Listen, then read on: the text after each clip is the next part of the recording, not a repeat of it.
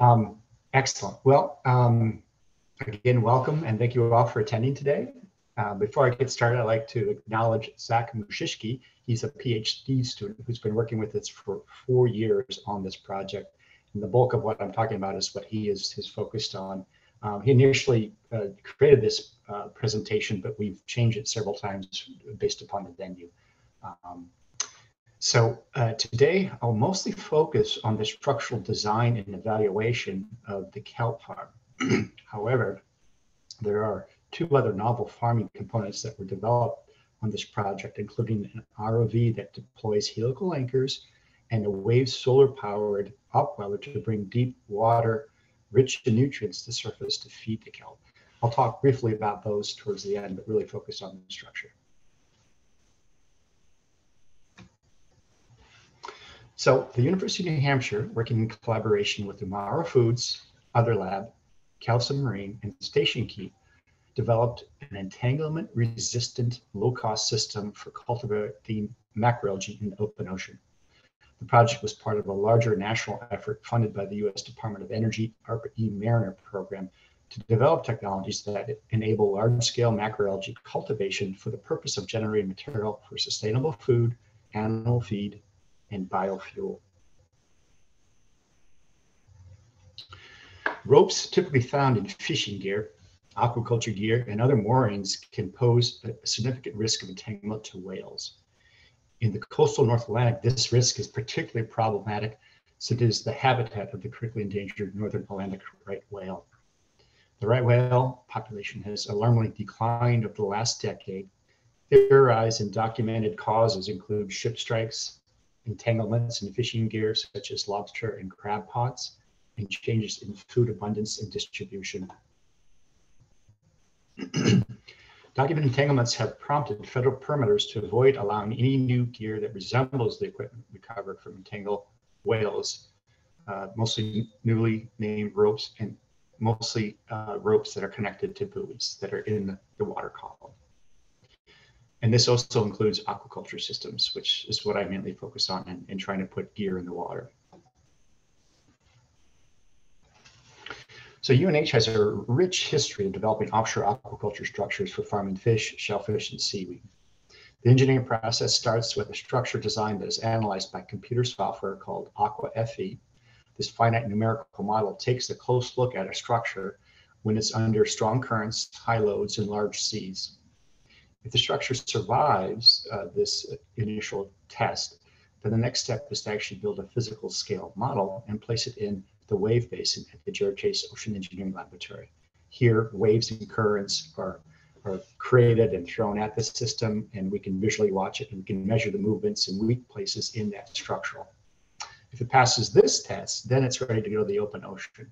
Um, but before it goes out there, we will develop a smaller scale system to go on out, and then we add load cells and other instrumentation so we can actually measure the stressors on the mooring systems, the cage systems, etc.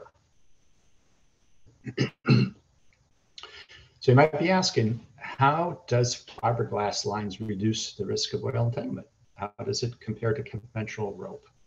How do you connect it to the rest of the structure? How do you transport it and, and deploy it?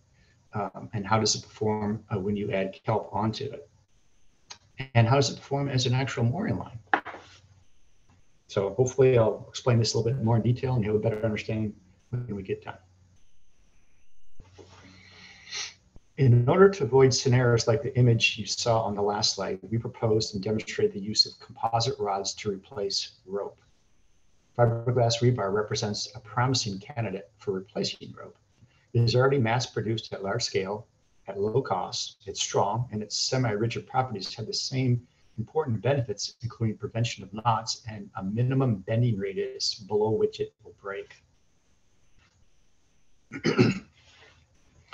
Documented whale entanglements typically include rope wrapped and knotted around whale fins, flukes, or jaws. Without adequate eyesight to typically perceive ropes, it is theorized that when North Atlantic right whales encounter rope, they react by rolling, a motion that can easily cause entanglement in loose ropes such as a lobster trap line. Let's consider what might happen when a whale encounters a fiberglass line in the kelp aquaculture systems. typically constrained on both ends by high holding capacity anchors with floats in between, a line in a kelp farm will bow inward where it is pushed by the whale.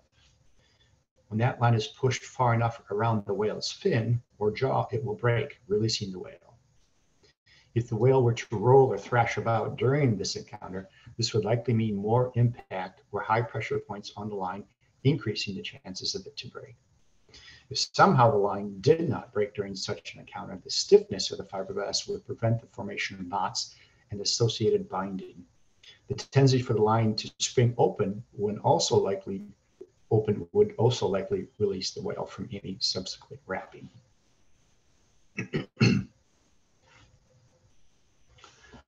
because you can't tie knots in fiberglass rod or create eye splices, we had to seek out alternative methods for transferring the tension load from the fiberglass rebar to the rest of the kelp farm structure.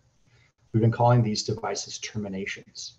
We designed, fabricated, and tested a few of our own creations, as well as testing a few off-the-shelf mechanisms made for termination of wire rope. Here are some photos above of those terminations.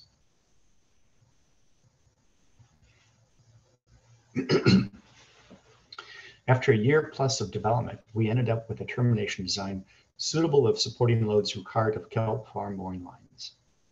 Here you can see the Instron machine that we use to test the terminations in tension. The plot there shows the results of one of our tests.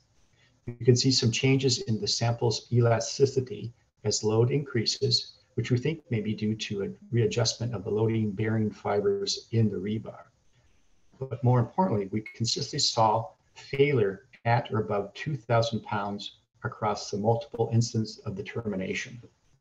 Failure for this sample was 86% of the theoretical breaking strength of the fiberglass rebar used.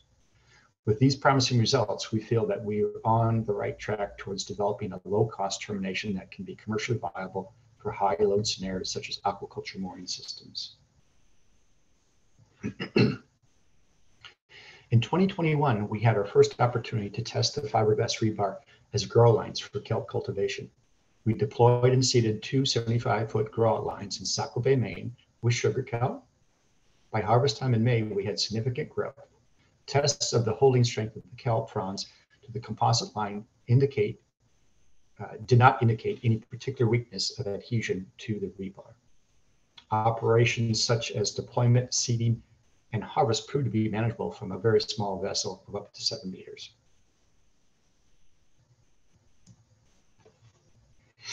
In 2022, we deployed a much larger kelp farm in Saco Bay. The goal of this farm was to demonstrate our project technology in the ocean. The farm provided a platform for us to evaluate the performance of our novel mooring structure design, our component technologies such as composite rods, as well as provide data to better calibrate our models for predicting structural loading. It was comprised of 36 helical anchors, 36 fiberglass anchor lines, and 26 fiberglass grow lines fully planted with kelp seed.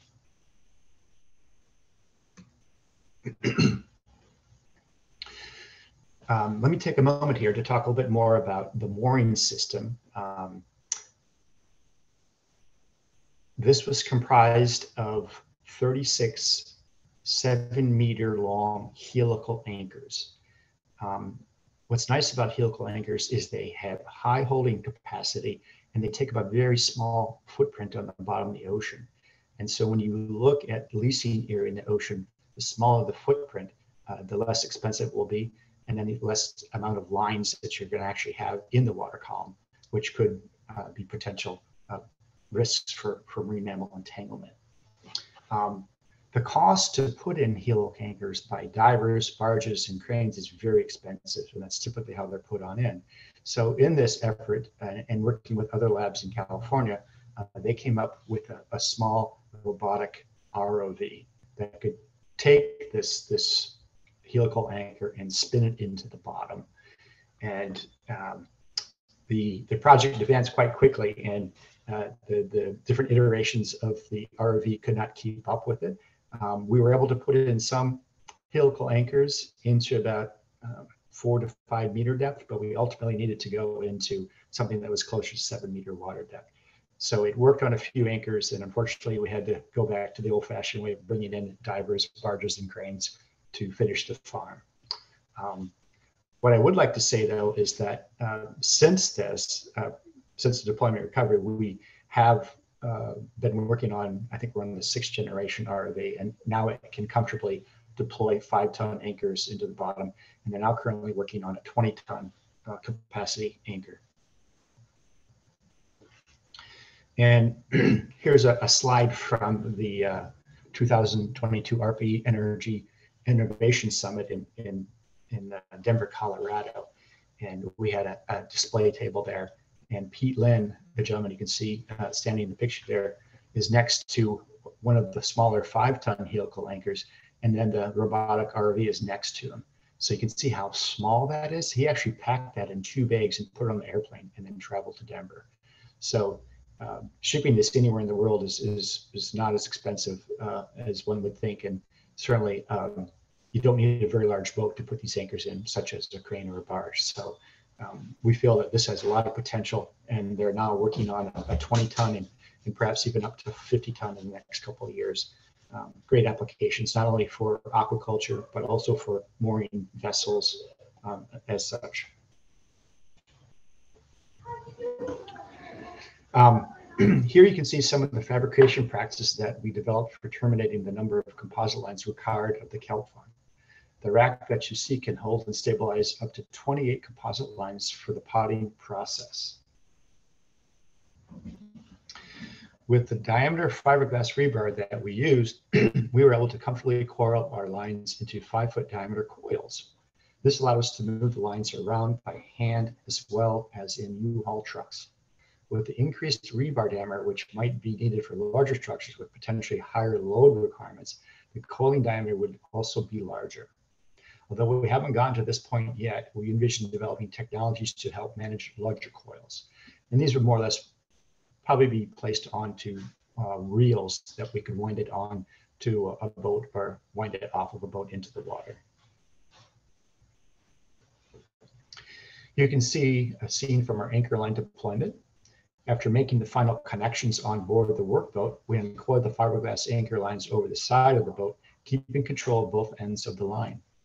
The assembled anchor lines were then handed off to a skiff that transported it into position for connection to the floats and anchors. Seating the fiberglass lines actually proved to be easier than seating the few rope grout lines also embedded in the structure. For those of you who aren't already aware, kelp is typically seeded onto the ocean grow-out lines by wrapping them in a seed string already covered in young kelp blades grown in the nursery. The seed string is typically wrapped around a PVC pipe with one end of the seed string tied at the start. The pipe is passed over the grow-out line and the seed string is unspooled onto the lines as the spool is pulled along the grow line. With rope grow lines, managing the tension of the grow line and seed string simultaneously can be challenging and problematic. If control is lost, even temporarily, seed string can lay on the grow line too loosely, preventing settling of the seed onto the grow line. If the seed string becomes too tight, it can cause tight points that will likely break, thereby also preventing kelp from attaching to the line. With fiberglass grow lines, tensioning the grow line is not a concern since it retains its shape locally regardless. So you only have to manage the tension on the seed string, allowing for quicker and more consistent seeding operations. the farm was deployed for eight months and was recovered in the spring of 2023. It was instrumented with remotely accessible load cells that collected data to help evaluate system performance and identify any potential issues. Only a few days after planning, a storm uh, hit the local area where we had seas up to 17 feet. Um, New England winters, I don't know if anybody uh, in the group here is from New England, but we have uh, harsh northeast storms uh, that uh, can do a lot of damage, and it, the, the seas can also make it very challenging to actually get to your farm. Um, so it's, uh, but having said that, we seed out the, the kelp it's a winter crop. We seed it out in November and we grow it out to the spring, and that's when we harvest it. So let me take a moment here to talk about um, the, the third interesting novel component of this farm was the upweller. And this is still in development. Uh, this is also being developed by other labs out in California.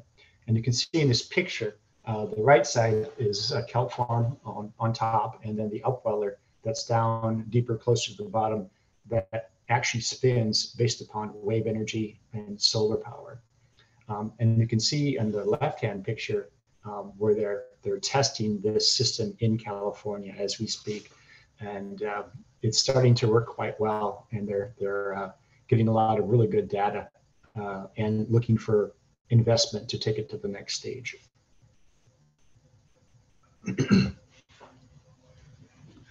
so as per the mandate of the ARPA-E Mariners program, our project is focused on developing technology that could enable large offshore kelp farms. We anticipate composite lines being an essential enabler of that vision. With the regulatory environment as is, it's difficult to envision any large-scale farms using primarily conventional rope being permitted in U.S. coastal waters of the North Atlantic. We hope that our demonstration of composite line technology might help build confidence in these materials as viable replacements for rope and potentially entanglement risk prevention measures. So in summary, some of the key benefits of composite lines include reduced risk of oil entanglement, which hopefully means greater chances of securing permits, low cost per strength, and easier, more reliable kelp seeding. This project is ongoing and we're eager to see this technology applied and tested more broadly. This project is not ready for commercial kelp farming as much more research is necessary. It's easy to see how this technology might be beneficial for other marine industries also facing pressure to change in the face of marine mammal entanglement risks, such as shellfish and finfish aquaculture, fishing, especially lobster and crab fishing, oceanic and navigational buoy mooring systems. So with that, um, I'd like to thank uh, DOE Mariner for their support over the last four years to develop this technology. Um, and we're excited to see where it goes next. Um, and so thank you for your time and I'll, I'll take questions.